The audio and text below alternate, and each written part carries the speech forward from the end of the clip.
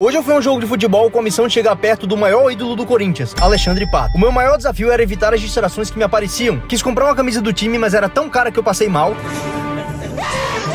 Fui parado por um elefante gigante que é o mascote do time, pela Isadora Pompeu e até por um casal que estava sendo feliz na minha frente. Mas minha missão era muito maior que isso e ali estava o meu alvo, o homem, Alexandre Pato. O jogo começou e logo teve pênalti pro Pato cobrar. O que será que ele pensou nessa hora?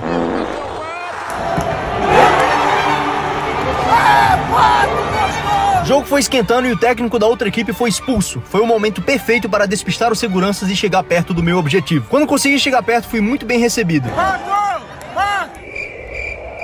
Não consegui falar com o Pato, mas pelo menos virei amigo do Vinícius Júnior.